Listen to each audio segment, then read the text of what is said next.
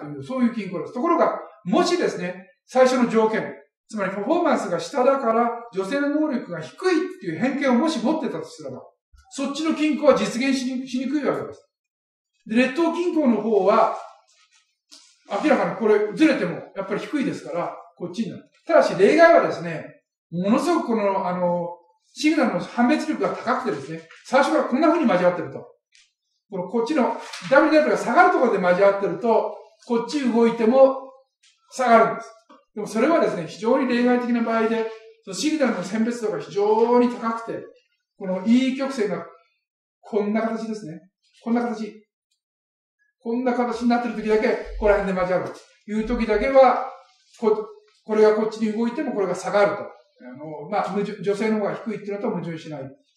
そうでない限りは、こう、劣等均衡を生み出すという結論になります。で、で結論としてはですね、これがあり得る形かなと。つまり日本の場合にはですね、まあ、本当は男女にとって不公平な基準を企業は公平だと感じていると。そうすると女性の能力が低いというふうに出す。そうすると劣等均衡が生まれてこざるを得ない。でもしそれが原因だとすると、これはなかなか解消難しいんです。で、まあ、インプリケーションとしては、まあ、そういったことですね。えっ、と、最後に二つまだ議論ありますけども、まあ、えっ、と、あ、こうと、あ、あ、これでいいです。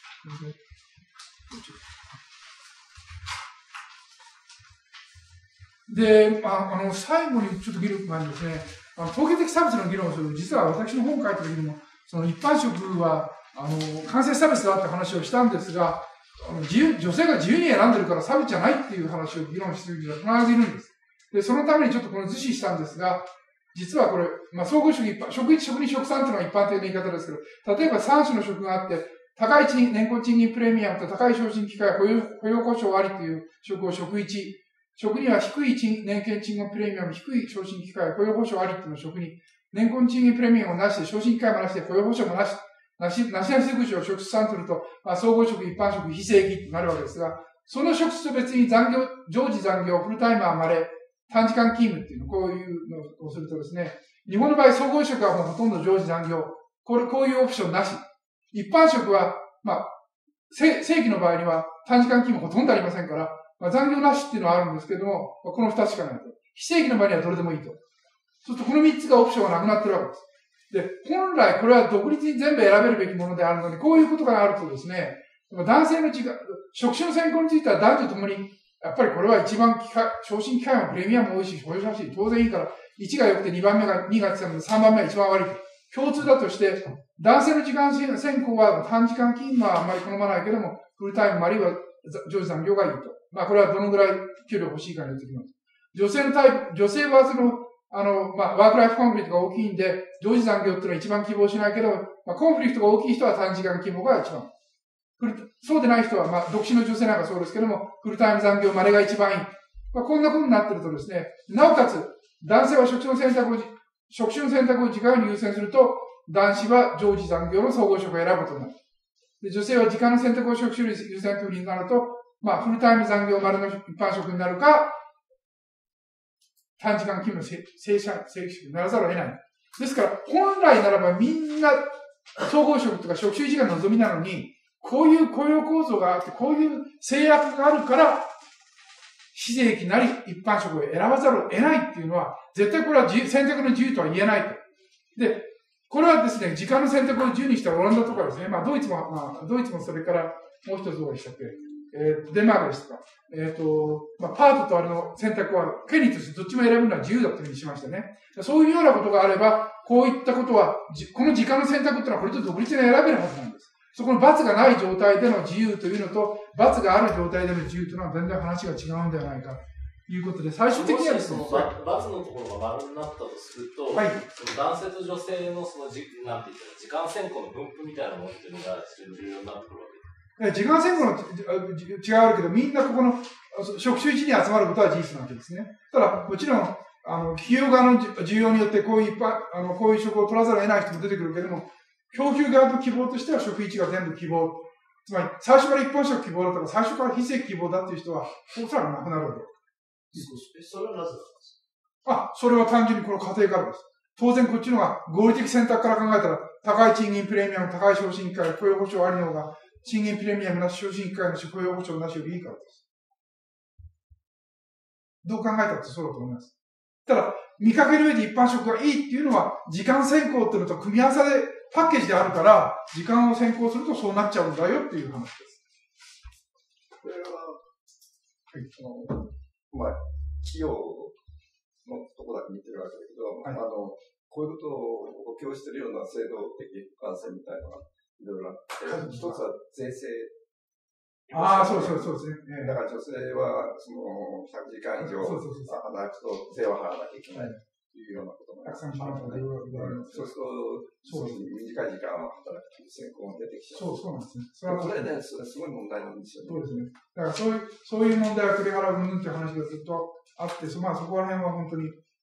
え期待しなきゃいけないんですけども。男性の時間選考が、うん、そこでいう女性のものに近づくような動きがあったとにどういう影響が出るかっていうこと今、一般職専攻の男性がそれぞれ出てきてるって話ありますよね。そうですね。だから、つまり、まあ、あんまりあ若い世代の残業時間どんどん増えてるんで、はい、余計そういうふうに二極化してるとそういうことになってくるっていうことが当然なると思いますけどね。まあ、あの、で、最後の議論、最後の、あの、あ、最後の、あれですけど、結局、女性に不公平なシグナルようにパレード攻撃の均衡はどうすればっていうと、やっぱり、まあ一番最初の青木先生の話は、日本的雇用慣行の変化がどうしても必須じゃないかと。で、これは最初にその、まあ、予測としては予想、あの、川口先生との話の1点をもうちょっと話そうって話があったんですけど、これだけでも盛りだくさんになっちゃったんで、そこまでいかないんですけど、まああの、短時間正社員の普及とか、正規の非正規の金とか待遇とか、まあ、ワークライフバランス策の推進とか、高速と保障の見直しの推進とか、こういうの全部こう、いろいろ補完性、せるとき補完性があって、なかなかどこを崩すか難しいんですけど、どこから突破したらいいかって言って、やっぱり時間、あの、今はその非正規の場合にはかなりその、モノプソニーっていうか、潜在的なところがあって、企業はある程度時間を雇用者の希望に逆らって、雇用、あの、就業時間を設定できる構造がある頃がまずいんで、そこがやっぱり長時間、長時間を可能可能にしてるわけです。つまり、非自発的に長時間労働してる非常に多いんですね。自発的じゃない人だから、やっぱりそういったところでは、その、つまり、まあ、これは、まあ、私はその、原則的には自由自由主義で、市場管理は、あの、反対なんですが、雇用者の自由と企業の自由っていうのがコンフリクトがあったときに、選択の自由があったときに、雇用者の選択の自由を優先する考えっていうのに基本的に賛成なんです。だからその人であれば、その人であれば、あの、法的介入は賛成。だから例えばオランダみたいな。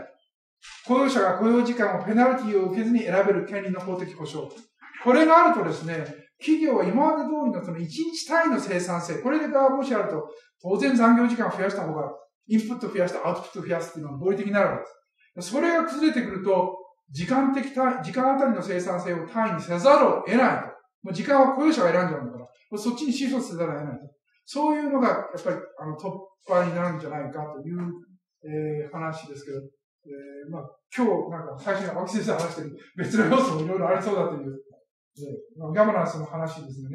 そういったから形も絡んでくるかもしれないなというふうにしてきましたけど、まあそういった、どこの問題が突破口にしてですね、日本の雇用慣行の中で、どうも雇用者の自由を制限しているというところ、つまり、生産性、まあ、意欲を持って働く人たちの自由をさは、まあ、与えていくことによって決して企業はそうするものではないと。別の形でもってやっぱり生産性、まあ、労働生産性の向上に結びつくんで、